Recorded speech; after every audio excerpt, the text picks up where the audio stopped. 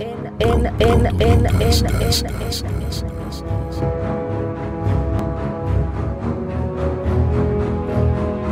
Celeste, Celeste y Blanca, orgullo, Gracias a todos por, por estar. Y la verdad que, que me siento físicamente bien.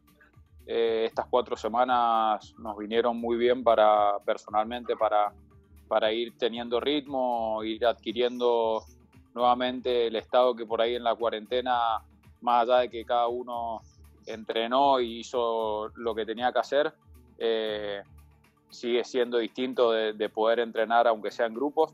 Así que personalmente, la verdad que más allá física, físicamente, mentalmente estoy muy bien y, y, nada, muy ansioso la verdad. Y con nosotros lo veíamos muy de lejos y así todo hubo la mitad del equipo que,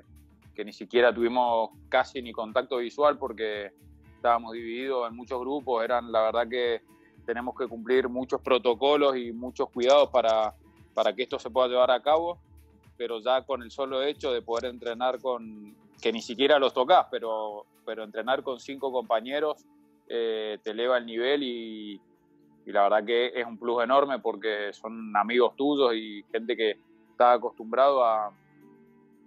casi convivir todo el año y de repente de un día para otro estuvimos cinco meses sin vernos, entonces creo que es muy positivo y más allá de todos los protocolos y todas las distancias que tenemos que mantener, eh, es muy muy positivo y fue realmente que a mí personalmente me dio una energía extra que, que estaba necesitando. Sí, la verdad que es, es, muy, muy difícil y creo que tampoco es bueno para nosotros ponernos a comparar, a decir, sí, ellos están jugando, si no, o están jugando hace varios meses, están jugando un buen torneo.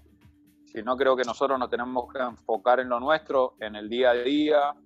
en seguir mejorando día a día, en, en nosotros estar bien y preparados para si llega la oportunidad poder jugar al nivel que queremos. Creo que hoy por hoy el, el, foco y el piso lo ponemos nosotros, ya que competencia no estamos teniendo, así que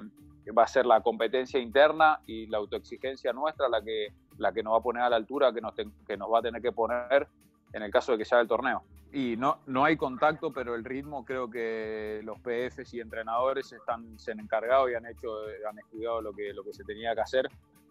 para que el ritmo sea el mismo o más. Es más, incluso es, es más el ritmo para que después cuando nos tengamos que, que, golpear estemos bien físicamente. Yo te puedo decir personalmente, estamos entrenando muy, muy, muy duro, corriendo muchísimo y, y también parte mucho de, se está poniendo a prueba también el trabajo mental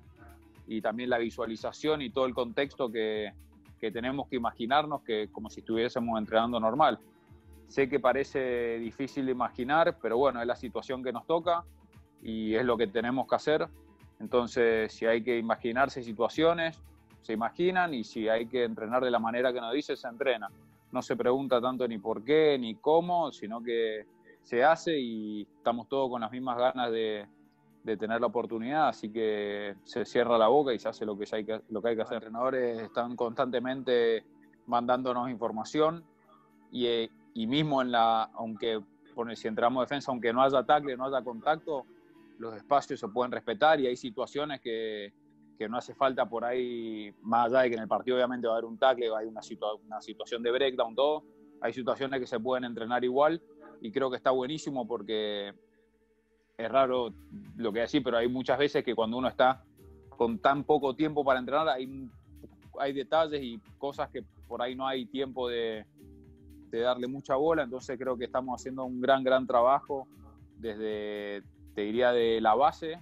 y la comunicación con los entrenadores sigue siendo la misma, es más, es hasta más y el laburo de estudio también es hasta más que por ahí en una temporada regular. Disfruté, disfruté estar en Mendoza, eh, disfruté de estar cerca de mi familia, pero también sentía que todo el tiempo como que no era mi lugar, que no, que no, no tenía que estar ahí. Entonces era, era, había días que realmente, me sincero, había días que, que, que, decía, no, no, no quiero estar más en Mendoza, quiero estar jugando, quiero estar en, en, mi casa en Buenos Aires, quiero, quiero jugar en los Pumas, quiero estar con Jaguares. Y, y nada, ahí queda nada más